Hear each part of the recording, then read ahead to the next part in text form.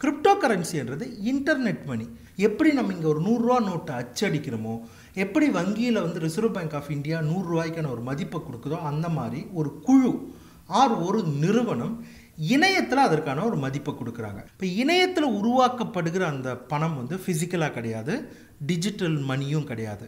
அந்த பணம் வந்துட்டு நீங்கள் வாங்கணும் அப்படின்னு சொன்னோம்னா நீங்கள் அதற்கு அந்த வேல்யூவை வா நீங்கள் பணமாக மாற்றி பரிவர்த்தனை பண்ணி வாங்கினீங்கன்னா உங்களுக்கு ஒரு கோடு கொடுப்பாங்க. இந்த கோடு தான் அது வந்து ஒரு கிரிப்டிக் கோடு ஒரு ஒரு பகுதி இருக்கக்கூடிய கோடு அதுதான் நீங்கள் கிட்ட பணம் இருப்பதற்கான ஒரே சான்று. சில்க் ரோட் அப்படிங்கிறது ஒரு இணையத்தில் ஒரு டார்க் நெட்டில் உருவாக்கப்பட்ட போதை மருந்து விற்பனை வெப்சைட் அது.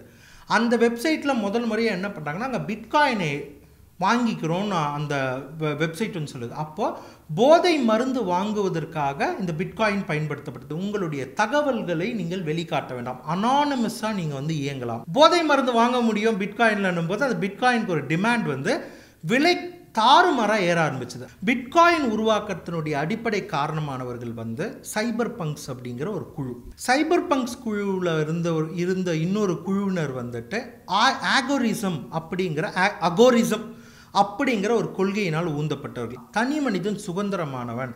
அவனை இந்த நாடோ இந்த கட்டமைப்புகளோ எஸ்டாப்ளிஷ்மெண்ட்ஸோ கட்டுப்படுத்தக்கூடாது அப்படிங்கிறது தான் இந்த இவர்களுடைய கொள்கை. அதில் ரொம்ப முக்கியமானது வந்துட்டு பண பரிவர்த்தனையை வந்துட்டு யாருமே கட்டுப்படுத்தக்கூடாது அப்படிங்கிறதா இன்னைக்கு சாமானிய மக்கள் பயன்படுத்துறாங்கன்னா பரிவர்த்தனைக்கு பயன்படுத்தலையே. இதை இவங்க இன்வெஸ்ட்மெண்ட்டுக்காகல சாமானிய மக்கள் உள்ளே வந்திருக்காங்க.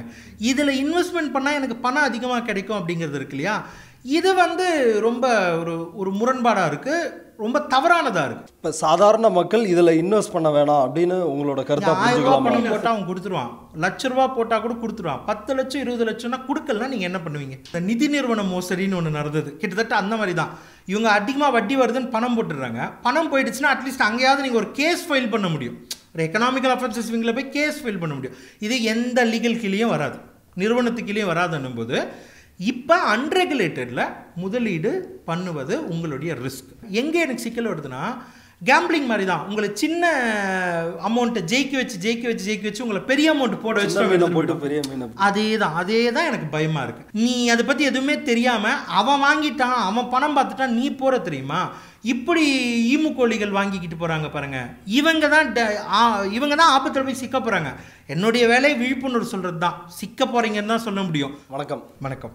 கிரிப்டோ கரன்சி பிட்காயின் இப்படியான வார்த்தைகள் வந்து தொடர்ந்து புழங்கிட்டு இருக்குது. அதில் இன்வெஸ்ட் பண்ணுறவங்க நம்மளை சுற்றியே சாதாரண மக்களும் வந்து இன்வெஸ்ட் பண்ண ஆரம்பிச்சிருக்கிறாங்க. இதை வந்து பார்க்க முடியுது. கடந்த ஆண்டு இதன் மீது வந்து ரிசர்வ் பேங்க் வந்து இதுக்கு ஒரு தடை விதிச்சது. உச்சநீதிமன்றம் அந்த தடையை விலக்கிக்கிச்சு. இந்த விவரங்கள் எல்லாரும் பார்த்தது. மூணு நாளைக்கு முன்னாடி ரிசர்வ் பேங்க் ஆளுநர் சக்திகாந்த் தாஸ் வந்து இதற்கு ஒரு மீண்டும் வந்து ஒரு எச்சரிக்கை மாதிரி கொடுத்துருக்காரு. இதில் இன்வெஸ்ட் பண்ணுறவங்க எச்சரிக்கையாக இருக்கணும் அப்படின்னு சொல்லியிருக்காரு இப்போ இந்த விஷயங்களுக்குள்ளே போகிறதுக்கு முன்னாடி இந்த கிரிப்டோ கரன்சினா என்ன? அதை கொஞ்சம் எளிமையாக சொல்லுங்களேன். இப்போ நம்ம ரூபாய் நோட்டு வச்சுக்கிட்டு இருக்கோம். அமெரிக்காவில் டாலர் யூரோஸ் இருக்குது இது எல்லாமே ஒரு அரசு வந்துட்டு பரிவர்த்தனைக்காக இதை நாங்கள் கொடுக்குறோன்னு உறுதிப்பூர்வமாக கொடுக்குறாங்க. அப்போ நான் ஒரு நூறுரூவா நோட்டு வச்சுக்கிட்டு இருந்தேன்னா இந்திய அரசு வந்து இந்த பரிவர்த்தனைக்கு நான் பயன்படுத்திக்கலாம். நூறுரூபாய்க்கு நிகரான பொருட்களை வந்து நான் வாங்கலாம். இப்போ கிரிப்டோ கரன்சி அப்படிங்கிறது என்னென்னா இன்டர்நெட் கரன்சி இப்போ இந்த ரூபாய் நோட்டு வந்து ஒரு இடத்துல ஃபிசிக்கலாக பிரிண்ட் பண்ணுறாங்க இப்போ டிஜிட்டல் மணி அப்படிங்கிறது என்னென்னா அது ரூபாய் நோட்டு ஃபிசிக்கலாக இன்வால்வ் ஆனாலும் இந்திய அரசு ஒப்புதல் பெற்ற வங்கிகள் மூலிமா வந்துட்டு பணத்தை வந்து எண்மங்களாக வச்சுக்கிட்டு இருக்கோம். அது எங்கிட்ட வந்து நூறுரூவா இருக்குன்னாக்கா பேங்க்கில் வந்து அந்த நூறுரூவா இருக்கும். நான் அதை வந்து பரிவர்த்தனைக்கு பயன்படுத்திக்கிறேன். இந்த டிஜிட்டல் மணின்றதும் ஃபிசிக்கல் மணிக்கும் கிரிப்டோ கரன்சியும் வேறு. கிரிப்டோ கரன்சின்றது இன்டர்நெட் மணி இணையத்தில் ஒரு குழு ஆர் ஒரு நிறுவனம் அவங்க வந்து இந்த அந்த அந்த அந்த பிட் காயின் இல்லை வந்து எத்திரியம் காயின் அந்த கரன்சி மதிப்பை உருவாக்குறாங்க. எப்படி நம்ம இங்கே ஒரு நூறுரூவா நோட்டை அச்சடிக்கிறோமோ எப்படி வங்கியில் வந்து ரிசர்வ் பேங்க் ஆஃப் இந்தியா நூறுரூவாய்க்கான ஒரு மதிப்பை கொடுக்குதோ அந்த மாதிரி ஒரு குழு ஆர் ஒரு நிறுவனம் இணையத்தில் அதற்கான ஒரு மதிப்பை கொடுக்குறாங்க. இப்போ நம்ம இமெயில் ஐடி நம்ம ஓப்பன் பண்ணுறோம் இல்லையா? கிட்டத்தட்ட இமெயில் ஐடி மாதிரி வச்சுக்கோங்க. இப்போ இணையத்தில் உருவாக்கப்படுகிற அந்த பணம் வந்து ஃபிசிக்கலாக கிடையாது டிஜிட்டல் மணியும் கிடையாது. அந்த பணம் வந்துட்டு நீங்கள் வாங்கணும் அப்படின்னு சொன்னோம்னா நீங்கள் அதற்கு அந்த வேல்யூவை வா நீங்கள் பணமாக மாற்றி பரிவர்த்தனை பண்ணி வாங்குனீங்கன்னா உங்களுக்கு ஒரு கோடு கொடுப்பாங்க. இந்த கோடு தான் அது வந்து ஒரு கிரிப்டிக் கோடு ஒரு ஒரு பகுதி இருக்கக்கூடிய கோடு அதுதான் நீங்கள் கிட்ட பணம் இருப்பதற்கான ஒரே சான்று ஒரு எண்ம கோடு ஸோ இது எல்லாமே இணையத்திலேயே உருவாகி இணையத்திலேயே பரிவர்த்தனை செய்து கொள்ளப்படுகிற டிஜிட்டல் பணம் இல்லை ஃபிசிக்கல் பணம் இல்லாத ஒரு வகையான இணைய பணம் தான் கிரிப்டோ கரன்சி இது எப்படி மதிப்பு பெறுது? இப்போ நூறு ரூபாய்க்கு ஒரு மதிப்புன்றது உருவாக்கப்படுது. அதை நம்ம பதி பரிவர்த்தனைக்கு பொருட்கள் வாங்குறதுக்கு எல்லா விஷயத்துக்கும் வந்து பயன்படுத்துகிறோம் இது முழுக்க முழுக்கவே டிஜிட்டலில் இருக்குது. இது எந்த வங்கிகளோடையும் தொடர்பு இல்லாத ஒன்றா இருக்குது. இதுக்கு எப்படி மதிப்புன்றது உருவாக்கப்படுது? ஆ மதிப்பு வந்து கிட்டத்தட்ட ஒரு பழைய டெக்னிக் தான். நமக்கு வந்து நம்ம பண்டமாற்று முறை இருக்குல்ல. அப்போ அந்த நெல் மற்றும் அந்த அரிசிக்கான மதிப்பு அப்படிங்கிறது தேவையை பொறுத்து தான் அந்த மதிப்பு உருவாச்சு. கிரிப்டோ கரன்சிலையும் அப்படி தான் இங்கே என்ன இங்கே என்ன டெக்னாலஜி நடக்குதுன்னா பிட்காயின் அப்படிங்கிறத பற்றி சொல்கிறேன் கிரிப்டோ கரன்சி அப்படிங்கிறது ஒரு பொது டெக்னாலஜிக்கல் டேர்ம் அதில் ஒரு அப்ளிகேஷன் வந்து பிட்காயின் அது மாதிரி டாச் காயின் இருக்குது இத்திரியம் இருக்குது நம்ம அது போக வேண்டாம். பிட்காயினை பற்றி மட்டும் சொல்கிறேன் அது ஒரு குழுவால் இயக்கப்படுது. அந்த குழு வந்துட்டு பணத்தை உற்பத்தி செய்ய முடியும். ஆனால் அது ஒரு நபரோ அப்படி உற்பத்தி செய்ய முடியாது. தனி தானியங்கியாகவும் உற்பத்தி ஆகிறது ஆட்டோமேட்டிக் உற்பத்தி கிடையாது. பல பேர் சேர்ந்து அந்த உற்பத்தியில் ஈடுபடுறாங்க. அது பேர் மைனிங்னு சொல்லுவாங்க. அப்படி நீங்கள் மைனிங் பண்ணும்போது ஒரு டெக்னிக்கலாக சொன்னோம்னா ஒரு ஒரு ஒரு சிக்கலான ஒரு ஒரு கணித ஒரு மேத்தமெட்டிக்கல் ப்ராப்ளம் அதை எல்லாருமே சேர்ந்து சால்வ் பண்ணாங்க அப்படின்னா அந்த சிஸ்டம் அந்த அப்ளிகேஷன் வந்து ஒரு பிட்காயினை உருவாக்கும். அது பேர் மைனிங்னு சொல்லுவாங்க. இப்போ இங்கே பிட்காயின் வந்து உருவாக்குறத ஃபஸ்ட்டு அதனுடைய மதிப்பு எப்படி முடிவு பண்ணுறாங்கன்னா குறிப்பிட்ட அளவு பிட்காயின்கள் மட்டும்தான் உங்களால் உருவாக்க முடியும். அதாவது நீங்கள் என்ன தான் உருவாக்கினாலும் எத்தனை பேர் உருவாக்கினாலும் இத்தனை மில்லியன் பிட்காயின்கள் தான் உருவாக்க முடியும். அப்படி செயற்கையாகவே அதுக்கு ஒரு டிமாண்டை வந்து க்ரியேட் பண்ணுறாங்க அதுக்கடுத்து பிட்காயினுடைய மதிப்புன்றது பரிவர்த்தனை மதிப்பு தான். அதாவது இப்போ என்கிட்ட ஒரு பிட்காயின் இருக்குது இதை வந்து என்னால் பயன்படுத்தவே முடியலன்னா அதனுடைய மதிப்பு குறைஞ்சிரும். நான் அது எவ்வளோ டாலருக்கு வாங்கியிருந்தாலும் அதனுடைய மதிப்பு குறைஞ்சிரும். அதை பயன்படுத்த முடியும் போதுட்டு அதனுடைய மத் மதிப்பேறும். எப்படின்னா எங்கிட்ட ஒரு பிட்காயின் இருக்குது இப்போ அதற்கு வந்து நான் வந்து அந்த ஒரு ஒரு காயினுக்கு வந்துட்டு நான் ஒரு கார் ஒரு பீஸா வாங்க போகிறேன் அந்த பீஸா கடைக்காரர் சொல்கிறாரு நீங்கள் வந்து ஒரு பிட்காயின் கொடுத்தா நான் ஒரு பீஸா கொடுக்குறேன்னா அந்த பிட்காயினுடைய மதிப்பு வந்து ஒரு பீஸா முதல் முதல்ல அவ்வளோதான் இருந்தது. இப்போ என்ன ஆகுதுன்னா அதுக்கு ஒரு டிமாண்ட் க்ரியேட் ஆகுது. எப்படின்னா நீங்கள் வந்து ஏதோ ஒரு காரணத்துக்காக பிட்காயின் வாங்கணும்னு நினைக்கிறீங்க. இன்னொருத்தரும் வாங்கணும்னு நினைக்கிறார். அப்போ என்கிட்ட ஒரு காயின் தான் இருக்குது அது புழக்கத்துலேயும் இல்லை இல்லையா? ஒரு காயின் தான் இருக்குது நீங்கள் வந்து என்ன சொல்லுவீங்கன்னா ஒரு பீஸா என்ன? ஆயிரம் ரூபாயா? இல்லை நான் உனக்கு ரெண்டாயிரம் ரூபா கொடுக்குறேன். எனக்கு பிட்காயின் கொடு. அப்போ இன்னொருத்தர் வந்து சொல்லுவார் நான் மூவாயிரம் ரூபா கொடுக்குறேன். ஏன் இந்த மதிப்பு ஏறிச்சு?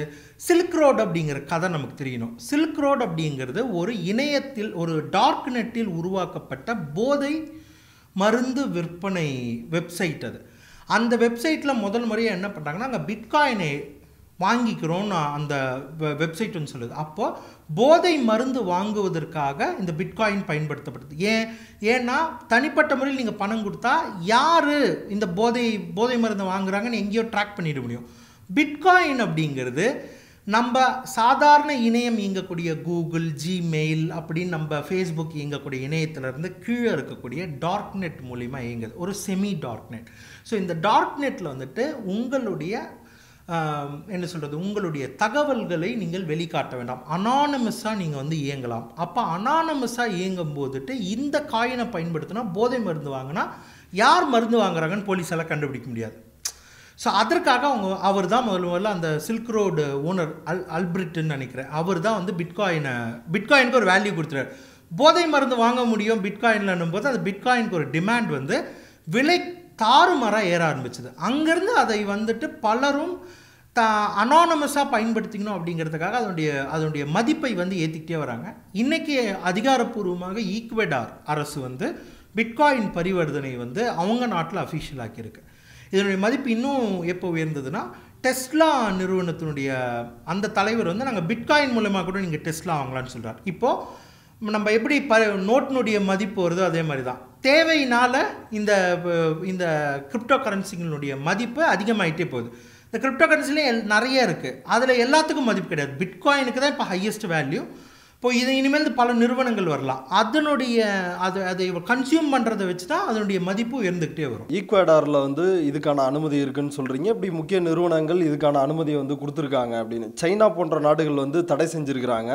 இப்போ த நம்ம நாட்டிலேயே இது குறித்து பேசுகிற பொருளாதார வல்லுநர்கள் மக்கள் அறிஞ்ச அளவில் இருக்கிறவங்க எல்லாருமே இது வந்து ஒரு ஆபத்து அப்படின்ற ஒரு விஷயத்த சொல்கிறாங்க இப்போ யார் பருவ பரிவர்த்தனையில் ஈடுபடுகிறார் அப்படின்ற தெரியாதது தான் இதனுடைய ஆபத்தா என்னது? இதில் என்னன்னா இது வந்து ஒரு முழுமையான அனானமஸான கரன்சி கிடையாது. செமி அனானமஸ் தான். ஓரளவு தெரிஞ்சுக்கலாம் யார் பரிவர்த்தனை ஈடுபடுகிறான்ட்டு ஆனால் அது மட்டும் கிடையாது.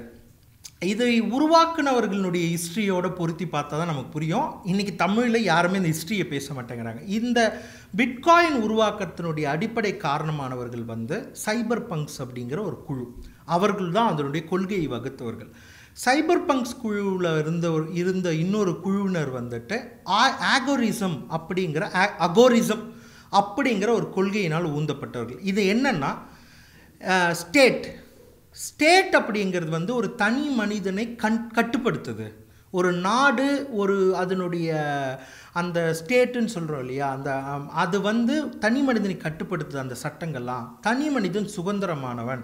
அவனை இந்த நாடோ இந்த கட்டமைப்புகளோ எஸ்டாப்ளிஷ்மெண்ட்ஸோ கட்டுப்படுத்தக்கூடாது அப்படிங்கிறது தான் இந்த இவர்களுடைய கொள்கை. அதில் ரொம்ப முக்கியமானது வந்துட்டு பண பரிவர்த்தனையை வந்துட்டு யாருமே கட்டுப்படுத்தக்கூடாது அப்படிங்கிறது. தான் பொருளாதாரத்தை கட்டுப்படுத்துறதுனால தான் வந்துட்டு இங்கே பல சிக்கல்கள் வருதுன்ட்டு.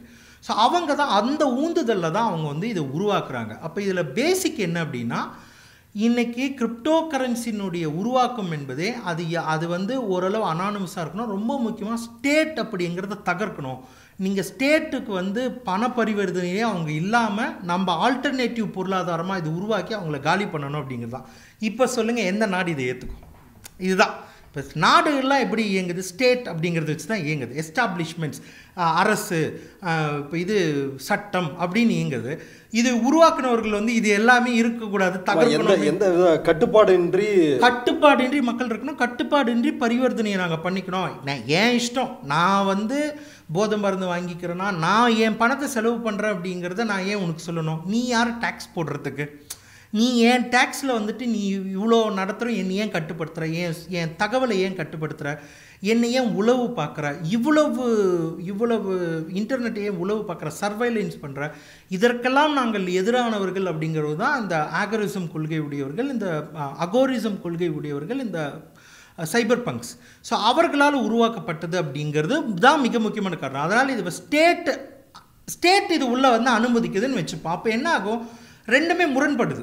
இது உருவாக்குனவர்கள் ஸ்டேட் வரக்கூடாதுன்றாங்க. ஸ்டேட் வந்து நான் இதை கட்டுப்படுத்துகிறோன்றாங்க இதுலேயே உங்களுக்கு ஒரு முரண்பாடு தெரியலையா? அதுதான் அந்த கோவம் தான் ஸ்டேட் வந்து இதை வந்து அனுமதிக்க முடியாது. இது இது எப்படி கட்டுப்படுத்தணும்னு ஸ்டேட் பார்க்குது அவன் நீ கட்டுப்படுத்துனியன்னா மாறிக்கிட்டே இருப்பான்.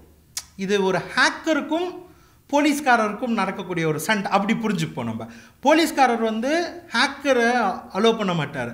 ஒரு ஹேக்கர் போலீஸ்காரரை அலோவ் பண்ண மாட்டார். அவங்க ரெண்டு பேருக்குள்ளே இது சண்டை நடக்கும். போலீஸ்காரர் ஹேக்கரை கெட்டவன் தானே சொல்லுவார். ஹேக்கர் வந்து போலீஸ்காரனை கெட்டவர் தான் சொல்லுவார். இதுதான் இந்த கிரிப்டோ கரன்சிக்கும் ஸ்டேட்டுக்குமான சண்டை அது. இப்போ மிகப்பெரிய முதலீட்டாளர்கள் இதில் வந்து இருக்கிறாங்க.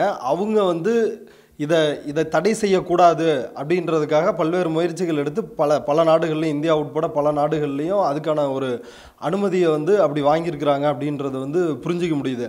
அப்படி இருக்கும் பொழுது இது சாமானிய மக்களுக்கு வந்து பயன்படுமா? இல்லை உலக நாடுகளில் இருக்கிற பெரிய பெரிய முதலீட்டாளர்கள் அவங்களுக்கு தான் இது பயன்படுமா? லாபத்தை கொடுக்கும் இதனுடைய அதாவது இதை உருவாக்கின சைபர் பங்க்ஸ் வந்து சொல்கிறது என்னென்னா இது சராசரி மக்களை ஸ்டேட் கிட்டேருந்து காப்பாற்றுறதுக்காக அவனுடைய தனி உரிமையை காப்பதற்காக தான் சொல்லியிருக்காங்க சொல்லி உருவாக்கியிருக்காங்க. ஆனால் ஆப்வியஸாக இதை வந்து முதல்ல யார் பயன்படுத்திக்கிறாங்கன்னா ஸ்டேட் கிட்டேருந்து டேக்ஸை அவாய்ட் பண்ணோம் நான் வந்து பத்தாயிரம் கோடி ரூபாய்க்கு ஒரு பிஸ்னஸ் பண்ணுறேன் அஞ்சு அதுக்கு டேக்ஸ் போடப்படுது. அப்போ நான் அஞ்சாயிரம் கோடியை கிரிப்டோ கரன்சியில் வாங்கிட்டேன் அப்படின்னா இந்த க- நான் ஸ்டேட்டுக்கு வந்து தெரியாது. அதை கட்டுப்படுத்த முடியாது. அப்போ எனக்கு வந்து டேக்ஸ் மிச்சம் தானே ஸோ அப்போ இதை யார் முதல்ல பயன்படுத்துவாங்க அப்படின்ட்டு. இன்றைக்கி வந்து இதில் இன்னொரு விஷயம் இருக்குது இன்றைக்கி சாமானிய மக்கள் பயன்படுத்துகிறாங்கன்னா பரிவர்த்தனைக்கு பயன்படுத்தலையே. இனி நம்ம ஊரில் பொட்டிக்கடையில் நம்ம கிரிப்டோ கரன்சி கொடுத்தா வாங்குறோம் அதுக்கு பயன்படுத்தலை. இதை வந்து இப்போ நம்ம இவ்வளோ நேரம் பேசிக்கிட்டு பரிவர்த்தனை பற்றி நான் ஒரு ரூபா நோட்டு நூறுரூவா வச்சுக்கிட்டு இருக்கேன் அதுக்கு என்ன பொருள் வாங்குறான்றதை பற்றி தான் நம்ம பேசிக்கிட்டு இருக்கோம். இதை இவங்க இன்வெஸ்ட்மெண்ட்டுக்காகல சாமானிய மக்கள் உள்ளே வந்திருக்காங்க. இதில் இன்வெஸ்ட்மெண்ட் பண்ணால் எனக்கு பணம் அதிகமாக கிடைக்கும் அப்படிங்கிறது இருக்கு இல்லையா? இது வந்து ரொம்ப ஒரு ஒரு முரண்பாடாக இருக்குது ரொம்ப தவறானதாக இருக்குது ஏன்னா ஒரு நூறுரூவா நோட்டினுடைய வேலை பரிவர்த்தனைக்கு. நீங்கள் இது நம்ம இந்த டிமானிட்டைசேஷனோடு பொருத்திப்போம். உங்ககிட்ட வந்து ஒரு புது ரெண்டாயிரரூவா நோட்டு இருக்குது நீங்கள் இப்போ சந்தைக்கு வந்துட்டு நோட்டுக்கு வந்து பயங்கரமான தேவை இருக்குதுன்னு வந்துட்டு என்கிட்ட ரெண்டாயிரரூவா இருக்குது இதை வந்து நான் உனக்கு மூவாயிரம் ரூபா கொடுக்குறேன் ஆக்ஷன் விடுறீங்க. ரெண்டாயிரரூவாக்கு வேல்யூ எவ்வளோ? ரெண்டாயிரம் ரூபா தான். ஆனால் அது தேவையினால ஒரு தற்காலிகமாக ஒருத்தர் ஹாஸ்பிட்டலுக்கு ஒருத்தர் அவசரமாக போனால் ரெண்டாயிரரூவா தேவை அவர்கிட்ட மூவாயிரரூவா இருக்குது ஆனால் அது பயன் கிடையாது. அப்போ அவர் வந்து அந்த வேல்யூ உங்களுக்கு கொடுக்குறாரு.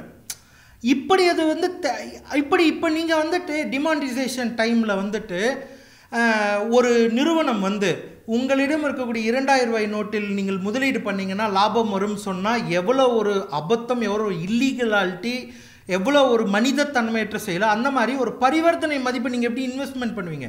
டாலரில் இன்வெஸ்ட்மெண்ட் பண்ணுறோம் யூரோவில் இன்வெஸ்ட்மெண்ட் பண்ணுறதுன்றது அது அதனுடைய விளைவுகள் எவ்வளோ வந்து சாதாரண மக்களை பாதிக்குது? இவங்க பாட்டுக்கு விலையை ஏற்றி விட்டுட்டு போயிடுறாங்க அது வந்து எவ்வளோ பாதிக்குது? அப்போ அந்த பாதிப்பு இதுக்கு இருக்கு இல்லையா? ஒரு ஒரு ஒரு பரிவர்த்தனைக்கான மதிப்பை நீங்கள் வந்து இன்வெஸ்ட்மெண்ட்டாக எப்படி பார்க்க முடியும்? அப்படி பார்க்கறத அரசு வேற உள்ள இல்லைன்னும் போது ரொம்ப ஆபத்தானதாக தான் இருக்குது இப்போ சாதாரண மக்கள் இதில் இன்வெஸ்ட் பண்ண வேணாம் அப்படின்னு உங்களோட கருத்தை அப்படி நான் சொல்லவே மாட்டேன். என்னன்னா அந்த மாதிரி சொல்றது சைபர் பங்க் குழுவுக்கும் எதிரானது. எனக்கு இப்போ நான் ஓரளவு நான் சைபர் பங்க் கிடையாது இருந்தாலும் ஓரளவு வந்து நான் எல்லாத்தையும் கட்டுப்படுத்துறதுல வந்து நான் ஆதரிக்கிறது கிடையாது. நான் என்ன சொல்ல வரேன்னா இது இன்வெஸ்ட்மெண்ட் டூல் கிடையாது. நீங்கள் ஒரு நிலத்து மேலே இன்வெஸ்ட்மெண்ட் பண்ணுறது அப்படிங்கிறது வேற ஒரு நகை மேலே இன்வெஸ்ட்மெண்ட் பண்ணுறது அப்படிங்கிறது. இது இன்வெஸ்ட்மெண்ட்டுக்கானது கிடையாது. இது வந்து ஒரு தனி மனிதனுடைய உரிமையை பாதுகாப்பதற்காக உருவாக்கப்பட்ட ஒரு ஒரு பரிவர்த்தனை மதிப்பு கிரிப்டோ கரன்சின்னு இதை நீங்கள் போயிட்டு நான் இன்வெஸ்ட்மெண்ட் பண்ணுறேன் பணம் சம்பாதிக்கிறேன் அப்படின்றது இருக்கு இல்லையா? சரி நம்ம உண்மை சொல்லுவோம். இது ஒரு கேம்பிளிங் மாதிரி இருக்குது இதில் உண்மையாகவே நம்ம பக்கத்து வீட்டில் இருக்கிறவரோ சின்ன இப்போ ஆயிரம் ரூபா போடுறவரோ ஒரு காலேஜ் ஸ்டூடெண்ட் பேக்கெட் மணியை போடுறவரோ லாபம் பார்க்க முடியுமா? இதிலே பல்லாயிரம் கோடி ரூபாய் இன்வெஸ்ட்மெண்ட் பண்ணக்கூடியவங்க லாபம் பார்க்க முடியுமா? அப்போ இன் ரெண்டாவது நீங்கள் இதிலெல்லாம் இவங்க இன்வெஸ்ட்மெண்ட் பண்ணுறாங்க இது முழுக்கவுமே வந்துட்டு யார் அதனுடைய கண்ட்ரோல் எந்த அந்த நிறுவனத்தினுடைய ஓனர் யார்? உங்களுக்கு பணம் போச்சுன்னா உங்களுக்கு எப்- எப்படி கிடைக்கும்? எந்த ரெகுலேட்டரி அத்தாரிட்டி எதுவுமே எந்த ரெகுலேட்டரி அத்தாரிட்டி கிடையாது. லீகலாக உங்களால் கேஸ் ஃபைல் பண்ண முடியாது. அது இல்லாமல் வந்துட்டு பெருமையாக வேற சொல்கிறாங்க நாங்கள் வந்து எங்களுடைய ஆதார் மற்றும் பேன் கார்டு தகவல்கள் வேறு கொடுத்துருக்காங்க. அதை பெருமையாக அவரை சொல்லிக்கிறாங்க. நாங்கள்லாம் ரொம்ப புத்திசாலிகள் நீ கொடுத்துரு யாருக்கு கொடுத்துருக்கோம்? ஸோ இது எதுவுமே இப்போ இப்போ என்ன ஸ்டேஜில் இருக்குன்னா அன்ரெகுலேட்டட் ஸ்டேஜில் இருக்குது அன்ரெகுலேட்டட் ஸ்டேஜை நம்ம புரிஞ்சுக்கலாம்னா பட்டாசு வெடிக்க போகிறோம் பட்டாசு கடைகள் வருது லைனாக தெருவில் இருக்குது அவங்க விற்கிறாங்க பட்டாசுகள் தான். அப்படி ஒரு அற அது அன்ரெகுலேட்டடாக வந்தால் என்ன ஆகிடும் அதில் என்ன கெமிக்கல் இருக்குதுன்னு நமக்கு தெரியாது. அதனால் வந்து குழந்தைகள் வெ வெடித்து பாதிப்பு ஏற்படுமோ தெரியாது. திடீர்னு பத்து பட்டாசு கடையும் எரிஞ்சிருச்சுன்னா அதுக்கு யார் பொறுப்பாளர்னே பொறுப்பு. கிடையாது. இப்போ இதே இன்னைக்கு பட்டாசு கடையை நம்ம எப்படி வைக்கிறோம்? அரசு வந்து சொல்லுது இத்தனை பேர் உள்ள இருக்கணும் நீங்க இவ்வளவு பாதுகாப்பு மெஷர்ஸ் இருக்கணும் பக்கத்துல தீயணைப்புக்கான இதெல்லாம் ரெடிமேடா வச்சிருக்கணும் அப்படின்னா அதை ரெகுலேட் பண்றாங்க. அப்ப நம்ம பட்டாசு வாங்குறோம். இதே தான் நானும் சொல்றேன். இன்னைக்கு இது திறந்து வைக்கப்பட்டிருக்கிற பட்டாசு கடைகள் பாதுகாப்பு கிடையாது. அரசு வந்து அதை ரெகுலேட் பண்ணலாம். திரும்பவும் டெக்னிக்கலாக பேசுவோம். கிரிப்டோ கரன்சியை அரசால் ரெகுலேட்டும் பண்ண முடியாது தடையும் பண்ண முடியாது. அது வேற லெவல் கிரிப்டோ கரன்சியில் முதலீடு பண்ணுவதை ஒரு அரசு ரெகுலேட் பண்ணி தான் தீரணும். ஏன்னா இது பல்வேறு சாமானிய மக்களினுடைய பணம். இவங்க வந்து நான் பணம் போட்டு எடுத்துட்டோம் பணம் போட்டேன் நீங்கள் ஆயிரம் ரூபா பணம் போட்டால் அவன் கொடுத்துருவான். லட்ச ரூபா போட்டால் கூட கொடுத்துருவான். பத்து லட்சம் இருபது லட்சம்னா கொடுக்கலன்னா நீங்கள் என்ன பண்ணுவீங்க? அப்போ நீங்கள் எங்கே போய் நிற்பீங்க இது ஒரு பத்து இருபது வருடங்களுக்கு முன்னாடி நீங்கள் இந்த நிதி நிறுவன மோசடின்னு ஒன்று நடந்தது. கிட்டத்தட்ட அந்த மாதிரி தான் இவங்க அதிகமாக வட்டி வருதுன்னு பணம் போட்டுடுறாங்க. பணம் போயிடுச்சுன்னா அட்லீஸ்ட் அங்கேயாவது நீங்கள் ஒரு கேஸ் ஃபைல் பண்ண முடியும். ஒரு எக்கனாமிக்கல் அஃபென்சஸ் இவங்களை போய் கேஸ் ஃபைல் பண்ண முடியும். இது எந்த லீகல் கீழேயும் வராது. நிறுவனத்துக்கீழேயும் வராதுன்னும் போது இப்போ அன்ரெகுலேட்டடில் முதலீடு பண்ணுவது உங்களுடைய ரிஸ்க் நீங்கள் ஹை ரிஸ்க் எடுக்கிறீங்க. வெரி வெரி ஹை ரிஸ்க் எடுக்கிறீங்க. உங்களுக்கு பணம் வந்தால் மகிழ்ச்சி வரலன்னா ஒன்று போச்சு. எதுவும் சொல்ல முடியாது. நான் என்ன சொல்கிறேன்னா முதலீடு பண்ணுறதெல்லாம் ரெண்டாவது. அரசு அந்த முதலீடு பண்ண போகிறாங்கன்னா ரெகுலேட் பண்ணுங்கள் ரெகுலேட் பண்ணி அவங்களுக்கு பாதுகாப்பு இருக்குது அப்படிங்கிற மூலம் இன்னைக்கு ஸ்டாக் மார்க்கெட்டுக்கு வந்து செபின்னு ஒன்று ரெகுலேட்டர் இருக்கான். பாதுகாப்பு இருக்குது அப்படின்னாக்கா தாராளமாக பண்ணிக்கிட்டு போட்டோம். அதை பற்றி அதை தடுப்பதற்கு நம்ம யாருமே கிடையாது. நமக்கு உரிமை கிடையாது. ஆனால் அன்ரெகுலேட்டடாக அவங்க அவங்க அன்ரெகுலேட்டடில் அவங்க போட்டாலும் நான் ஒன்றும் சொல்ல போகிறது கிடையாது. நான் சொல்லி அவங்க கேட்க போகிறதும் கிடையாது. ஆனால் பணம் நஷ்டமாச்சுன்னா அவங்களுக்கு அவங்க தான் நஷ்டமாகும் பெரிய அளவு நஷ்டமாச்சுன்னா நாட்டினுடைய பொருளாதாரத்தை பாதிக்கலாம். அந்த கன்சர்னில் இருந்து தான் சொல்கிறோம் let government regulate the investment நீங்கள் பி கர கிரிப்டோ கரன்சியை கவர்மெண்ட்டால் ஒன்றும் பண்ண முடியாது. தடையும் பண்ண முடியாது ரெகுலேட்டும் பண்ண முடியாது. இந்த சைபர் பங்க் அப்படின்ற இந்த குழு உருவாக்குனதே ஒரு எஸ்டாப்ளிஷ்மெண்ட்டுக்கு எதிராக தான் இந்த கிரிப்டோ கரன்சியை உருவாக்கி இருக்கிறாங்க. த தனி மனிதர்களை ஒரு அரசோ இல்லை எந்த ஒரு நிறுவனமோ கட்டுப்படுத்தக்கூடாது அப்படின்றதுக்காக. இப்போ இந்த கிரிப்டோ கரன்சி கரன்சின்ற இந்த டிஜிட்டல் பணம் உலகம் முழுக்க எப்படி பயன்படுத்தப்படுது? என்ன நோக்கங்களுக்காக பயன்படுத்தப்படுது? இன் முதல்ல சைபர் பங்க்ஸ் வந்து அவங்களுக்குள்ள பயன்படுத்திக்கிறாங்க. அதாவது நம்ம உருவாக்கின பணத்தை நம்ம பயன்படுத்திக்கணும்ன்ட்டு விளையாட்டாக பயன்படுத்திக்கிறாங்க. அன் இது எல்லாமே அண்டர் அண்டர் த டேபிள் பயன்படுத்திக்கிறதா எடுத்துப்போம் நம்ம டாட் நெட் கீழே பீர் டு பீர் நெட்ஒர்க்கில் தான் இது நடக்குது. ஸோ நம்ம ஃப்ரெண்ட்லியாக பயன்படுத்திக்கிறது என்கிட்ட ஒரு கிரிப்டோ காயின் இருக்குது அப்படின்னாக்கா நீங்களும் சைபர் பங்க் நானும் சைபர் பங்க் நம்ம வந்து அதுக்கு வேல்யூ கொடுக்குறோம். பட் அதுக்கப்புறமா இது வந்து பரவலாக்கப்பட்டது எப்போ அப்படின்னா நேர்மறையில் பரவலாகலை. இது போதை மருந்துகள் விற்பனையிலிருந்து பரவலாகியிருக்கு. தெர் இஸ் ஏ கன்ஸ்பைரசி ஏன்னா ஆதாரம் இல்லாததுனால நான் இந்த வேர்டை யூஸ் பண்ணுறேன் கன்ஸ்பைரசி அமெரிக்காவுடைய உளவு நிறுவனங்கள் வந்து இதை வந்து என்கரேஜ் பண்ணுறாங்க ஏன் என்கரேஜ் பண்ணுறாங்கன்னா அவங்களுக்கு வந்து உளவு உலகம் முழுக்க உளவு பார்க்கக்கூடிய அவங்க நெட்வொர்க்குகளுக்கு வந்து கிரிப்டோ கரன்சியில் பணம் அனுப்புவது வந்து அவங்களுக்கு ஒரு தேவையாக இருக்குது ஸோ அவங்க அந்த மாதிரி அண்டர் த அண்டர் கிரவுண்டில் தான் அதனுடைய மதிப்பு வந்து உருவாகுது. ஸோ யார் பயன்படுத்துவாங்க அப்படிங்கிறது வந்துட்டு திரும்பியும் பரிவர்த்தனை மதிப்பை பொறுத்தது. சொல்ல முடியாது நீங்களும் நானும் கூட பயன்படுத்திக்கலாம். இந்த இந்த இன்டர்வியூக்கு நான் வரேன் எனக்கு ரெண்டு பிட்காயின் கொடுங்க நான் சொல்லலாம். கொடுத்தா நான் ஏற்றுக்கிறதா இருந்தால் நீங்கள் கொடுக்கலாம். அப்படி தான் அதனுடைய மதிப்பு. இதை இன்றைக்கி யார் பயன்படுத்திக்கிட்டு இருக்காங்க? ஆரம்ப கட்டத்தில் போதை மருந்துகள் பிற அளவில் பயன்படுத்துக்கு பயன்படுத்துச்சு. அரசுக்கு எதிரான பல தீவிரவாத நடவடிக்கைகளில் இந்த பணம் புழங்குது அப்படிங்கிறது அரசு பல கேஸ்களில் வந்துட்டு சிஐஏ பிடிச்சிருக்காங்க. அதுக்காக சொல்கிறேன் அது ஆதாரங்கள் இருக்குது ஆனால் இன்றைக்கி வந்துட்டு ஓரளவு வளர்ந்த நாடுகளில் சாதாரண பரிவர்த்தனைக்கு ரொம்ப முக்கியமாக டெக்னி டெக்கீஸ் இந்த டெக்கீஸ் வந்து அவங்களுடைய பரிவர்த்தனைக்கு இதை வந்து பயன்படுத்திக்கிறாங்க. இன்றைக்கி நிறைய இடத்துல உலகில் பல இடத்துல வந்துட்டு பிட்காயின்ஸை வந்து வாங்கிக்கிறவங்களும் இருக்காங்க. இந்த கிரிப்டோ கரன்சியினுடைய மெக்கா அப்படின்னு சொல்லும். கிரிப்டோ கரன்சினுடைய மெக்கா வந்து செக் நாட்டில் இருக்குது ஒரு குழு இருக்காங்க. அந்த குழுவினுடைய ஒருத்தர் வந்து எனக்கு நண்பராக தான் இருந்தார். ஸோ அவங்க வந்துட்டு உலகம் முழுக்க இந்த கிரிப்டோ கரன்சியை அந்த சைபர் பங்க்ஸ் குழு குழுவிலேருந்து இவங்க கொஞ்சம் மாறுபட்டவங்க. இவங்க வந்து சைபர் பங்க்ஸ் வந்து ரொம்ப ரா எஸ்டாப்ளிஷ்மெண்ட்டை அகெயின்ஸ்டாக இருக்கவங்க. இவங்க எஸ்டாப்ளிஷ்மெண்ட் அகெயின்ஸ்டாக இல்லை. இவங்க என்ன சொல்கிறாங்கன்னா ஒரு தனி மனித உரிமைக்காக நாங்கள் எஸ்டாப்ளிஷ்மெண்ட் அகெயின்ஸ்டாலாம் போல. ஆனால் என்னுடைய ஒரு ப்ரைவசிக்காக எனக்கு வந்து ஒரு ப்ரைவசி நாணயம் வந்து தேவைப்படுது. நான் வந்து என்னுடைய ப்ரைவசியை பாதுகாப்புக்காக. அப்படிங்கிறத என்கரேஜ் பண்ணக்கூடிய ஒரு குழு இருக்குது ஸோ அந்த குழு வந்து இது அவங்க நீங்கள் அந்த கான்ஃபரன்ஸுக்கெலாம் போனீங்கன்னா நீங்கள் வந்து பிட்காயின்லேயே வந்து சாப்பாடே வாங்கி சாப்பிடலாம். ஸோ அவங்க அதை என்கரேஜ் பண்ணுறாங்க ஸோ இந்த இப்படி தான் அதனுடைய பரிவர்த்தனைகள் இருக்குது இன்றைக்கி கூட இன்வெஸ்ட்மெண்ட் பண்ணுறாங்க இல்லையா? அவங்க பிட்காயின் வச்சுக்கிட்டு இருக்காங்களா? இந்தியாவில் அந்த பிட்காயின் வச்சுக்கிட்டு அவங்களால போய் பொட்டிக்கடையில் ஒரு பிஸ்கெட் வாங்கி சாப்பிட முடியாது டீ கடையில் ஒரு டீ வாங்கி சாப்பிட முடியாது. அதுதான் இன்னைக்கு இந்தியாவில் இருக்கக்கூடிய நிலைமை. இப்போ இதை அனுமதிக்கிறது மூலமாக பல்வேறு ஆபத்துகள் இருக்குது. இப்போ அரசாங்கம் ரெகுலேட் பண்ணவும் கூடாது. இதை வந்து தடை செய்யணும். இது ஒட்டுமொத்தமாக ஒரு மாயன்னு சொல்கிறாங்களே அந்த கருத்தில் நீங்கள் உடன்படுறீங்க. இல்லை அப்படி அப்படியும் நான் உடன்பட அப்படி உடன்படலை. ஏன் உடன்படலை அப்படின்னா நீங்கள் முழுக்க முழுக்க அரசு வந்து கேள்வியே கேட்காம அரசுக்கு கீழே எல்லாத்தையும் எடுத்துக்கிட்டு வரணும் அப்படிங்கிறதே நம்ம நம்மளால் வந்து ஏற்றுக்கவே முடியாது. அரசு வந்து அது அவன் வந்து மக்களுக்கு உண்மையாக இல்லை அவங்க வந்து சர்வேலன்ஸ் பண்ணுறாங்க ஒட்டு கேட்குறாங்க ஸோ அதனால் இது முழுக்க நான் அரசுக்கு சார்பாகவும் இல்லை அரசுக்கு எதிராகவும் இல்லை. நான் என்ன சொல்கிறேன்னா நான் என்ன இருக்கோ அப்படியே அப்படியே சொல்லிடுறேன். மக்கள் முடிவு பண்ணிக்கிட்டோன்னு மக்கள் வந்து இது வேணுமா வேணாவா? இல்லை நாங்கள் வந்து அரசுக்கு ஆதரவாக தான் இருக்க போகிறோம் அரசுக்கு எதிரான இது முடிவு பண்ண மாட்டோம்னு மக்கள் முடிவு பண்ணிட்டாங்கன்னா நான் சொல்கிறதுக்கு யாரும் கிடையாது. ஸோ நான் அது உள்ளே போல. ஆனால் இது இன்றைக்கு வந்துட்டு அரசு இதை ரெகுலேட் ரெகுலேட் பண்ணணும்னு நான் சொல்கிறது என்னென்னா பரிவர்த்தனை ரெகுலேட் பண்ணுறதை பற்றி நான் பேசவே இல்லை. பண்ணவும் முடியாது. ஆனால் இந்த இன்வெஸ்ட்மெண்ட் நடக்குது இல்லையா? இது வந்து ஒரு சிக்கல் இருக்குது அதை ரெகுலேட் பண்ணணும். ஏன்னா இன்றைக்கி இதில் இன்வெஸ்ட்மெண்ட் பண்ணி இருக்கக்கூடிய பல பேர் என்கிட்ட வந்து ஃபேஸ்புக்கில் கேட்டுக்கிட்டே இருக்காங்க. மெயில் அனுப்பிச்சு கேட்குறாங்க பண்ணலாமா? வேணாமான்னு கேட்குறாங்க பண்ணாதீங்கன்னு சொல்லுவேன். எடுத்த உடனே தான் சொல்லுவேன். அவங்க என்னை கன்வின்ஸ் பண்ணுவாங்க. ஸோ அவங்க முடிவு பண்ணிட்டாங்க. நான் ஏன்னா அது ஒரு ஒரு பையன் சொன்னால் என்னுடைய ஃப்ரெண்டு வந்துட்டு இன்வெஸ்ட்மெண்ட் பண்ணி பணம் பார்த்துட்டான். இப்போ நான் பார்க்கக்கூடாதா இது ஒரு பெரிய பிரச்சனை இருக்குது கண்ணுக்கு முன்னாடி பணம் பார்த்துட்டான். நான் பார்க்கக்கூடாதா சரி சின்ன அமௌண்ட்டாக அவங்க கொடுத்துட்றாங்க. எங்கே எனக்கு சிக்கல் வருதுன்னா கேம்பிளிங் மாதிரி தான். உங்களை சின்ன அமௌண்ட்டை ஜெயிக்க வச்சு ஜெயிக்க வச்சு ஜெயிக்க வச்சு உங்களை பெரிய அமௌண்ட் போட வச்சு போட்டு பெரிய அதே தான் அதே தான் எனக்கு பயமாக இருக்குது ஸோ அங்கே தான் இதில் என்னென்னா இதை பயன்படுத்து இன்வெஸ்ட்மெண்ட்டில் இறங்கி இருக்கிற யாருக்குமே கிரிப்டோ கரன்சி தெரியாது. நீங்கள் அந்த ஆப் இல்லைன்னா கிரிப்டோ கரன்சி வாங்க முடியும். பிட்காயினை வாங்க முடியும் அப்படிங்கிற ஒரு பேசிக் தகவல் இருக்குது அது நிறைய பேருக்கு தெரியாது. எங்கே பிரச்சனை வருதுன்னா தெரிஞ்சவன் வந்து இவங்களை கன்ஃபியூஸ் பண்ணி விடுறான்.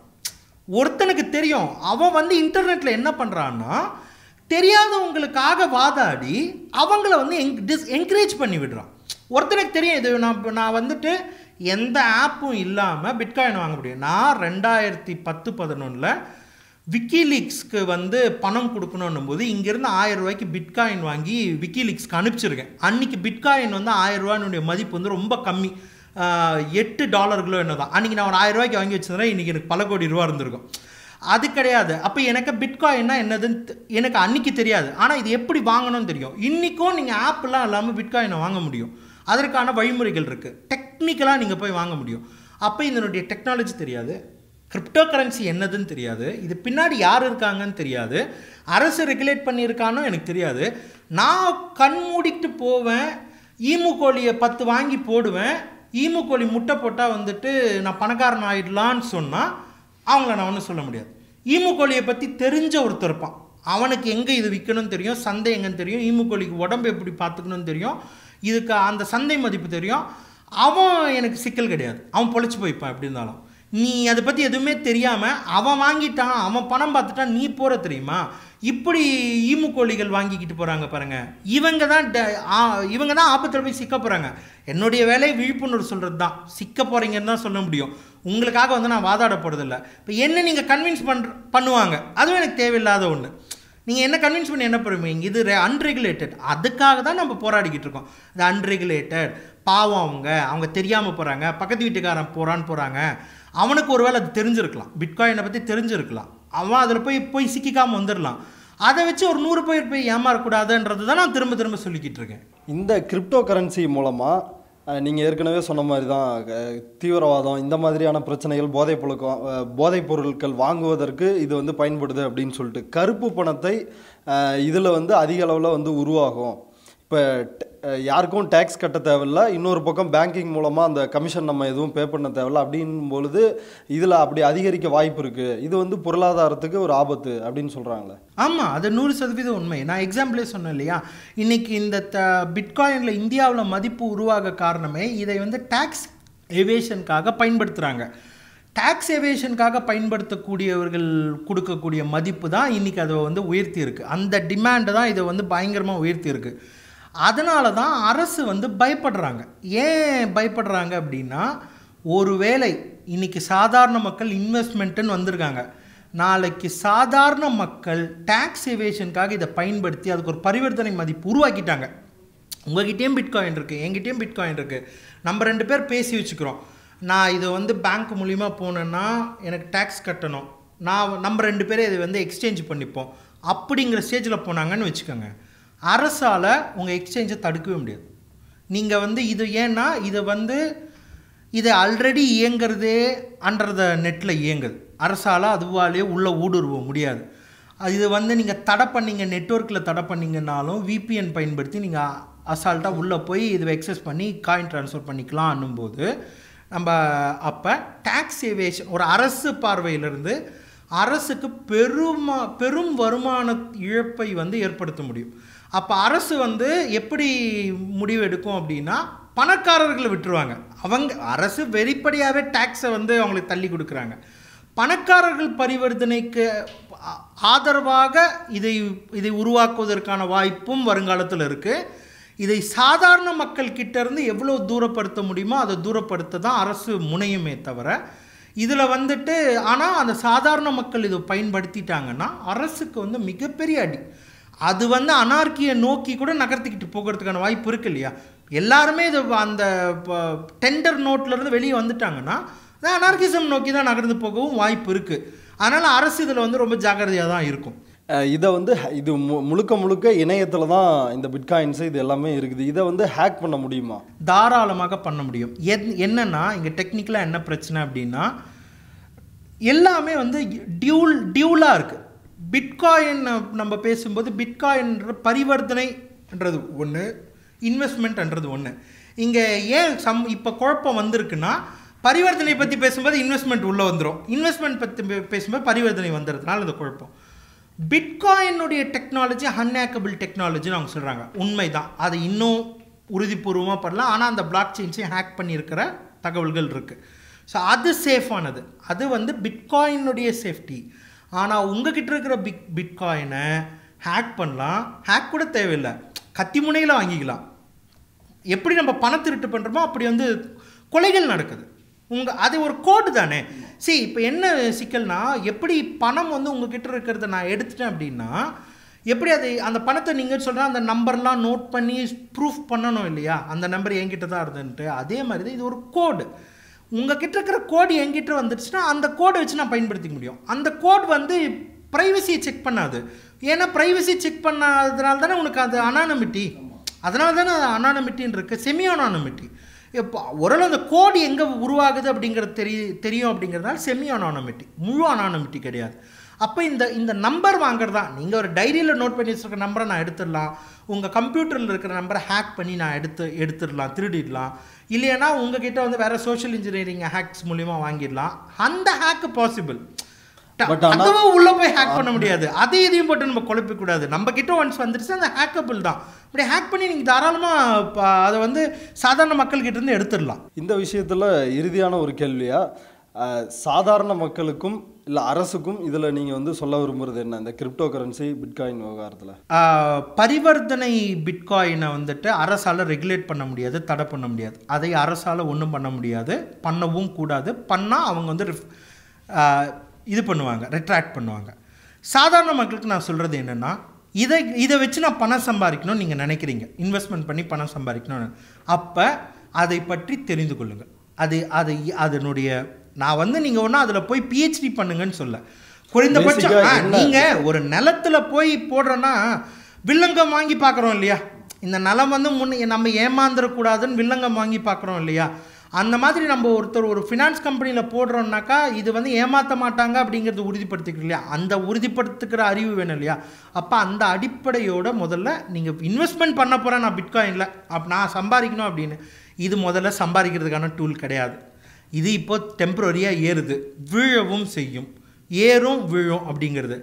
ரெண்டாவது இது யாருமே கண்ட்ரோல் பண்ணல. அதனால் எதனால் இதை எழும்புது? எதனால் இது வந்து வீழ்ச்சி அடையுதுன்னு உங்களால் ப்ரெடிக்ட் பண்ண முடியாது. மூணாவது பக்கத்து வீட்டுக்காரன் போட்டுட்டான் என் ஃப்ரெண்டு போட்டுட்டான் அவன் பணம் சம்பாரிச்சிட்டான் நான் பணம் சம்பாதிக்கணும் அப்படி நினைக்கவே நினைக்காதீங்க. ஒருவேளை அந்த நபருக்கு அதை பற்றி தெரிஞ்சிருக்கலாம். ஒரு லக்கில் கூட ஒரு வாட்டி சம்பாரிச்சிருக்கலாம். அது கிடையாது. ஸோ நீங்கள் இதில் முதலீடு பண்ண போகிறேன் அப்படின்னா அதை பற்றின அடிப்படை அறிவு தெரிஞ்சுக்கணும். இதை இதனுடைய லீகாலிட்டியை தெரிஞ்சுக்கணும். எனக்கு இந்த பணம் போயிடுச்சுன்னா எனக்கு எப்படி இது திரும்ப வரும் அப்படிங்கிற அடிப்படையை நீங்கள் தெரிஞ்சுக்கணும். இது எதையுமே தெரியாமல் முதலீடு பண்ணுறீங்கன்னா அது உங்களுடைய பணம் உங்களுடைய உரிமை. ஆனால் very very very high risk ஒவ்வொரு பொ- முதலீடுக்கும் ஒரு போர்ட்ஃபோலியோ சொல்லுவாங்க இல்லையா? அது ஹை ரிஸ்க் இது லோ ரிஸ்க் அப்படின்ட்டு. இது வந்து வெரி வெரி ஹை ரிஸ்க் இது முழுக்க முழுக்க நீங்கள் தான் ரிஸ்க் எடுக்கிறீங்க. இதனால் நாளை நஷ்டம் அடைஞ்சிட்டா அதுக்கு நீங்கள் தான் பொறுப்பு. நான் எங்களுக்கு சொல்கிறது வந்து ஸ்லோ டவுன் எதையில் முதலீடு பண்ண போகிறோமோ அதை பற்றி தெரிஞ்சுக்குங்க. தெரிஞ்சுக்கிட்டு அதில் வந்து முதலீடு பண்ணுங்கள் அதனால் உங்களுக்கு பயன் வந்தால் நன்மை நஷ்டமாக இருந்தாலும் நன்மை. பொத்தம் பொதுவாக பக்கத்து வீட்டுக்காரர் போகிறாரு மேலே வீட்டு அண்ணாச்சி வாங்கிட்டாரு கீழே வீட்டு அண்ணாச்சி வாங்கிட்டாருன்னு போகாதீங்க. அது உங்களை ஆபத்தில் சிக்க வைத்துவிடும். ரொம்ப முக்கியமாக சின்ன அளவு பணத்தை முதலீடு பண்ணி தெரிஞ்சுக்கிட்டு முதலீடு பண்ணுங்கள் பெரிய அளவு பணத்தை இதில் முதலீடு பண்ண வேண்டாம். இதில் முதலீடு பண்ணிட்டு எந்த விதமான அரசுக்கு தெரியாமல் நான் எந்த விதமான நடவடிக்கையிலும் ஈடுபட வேண்டாம். அரசு வந்து பேட்ரோலிங் அப்படிங்கிற விஷயத்த பண்ணும். அதில் நீங்கள் மாட்டிக்கிறதுக்கான வாய்ப்பும் இருக்குது அதனால் இதை வந்து பொறுப்புடன் இதில் இன்வெஸ்ட்மெண்ட் பண்ணுங்கள் தெரியாமல் பண்ணாதீங்க. இதைத்தான் நான் திரும்ப திரும்ப சொல்கிறேன் நன்றி தோழர். நன்றி.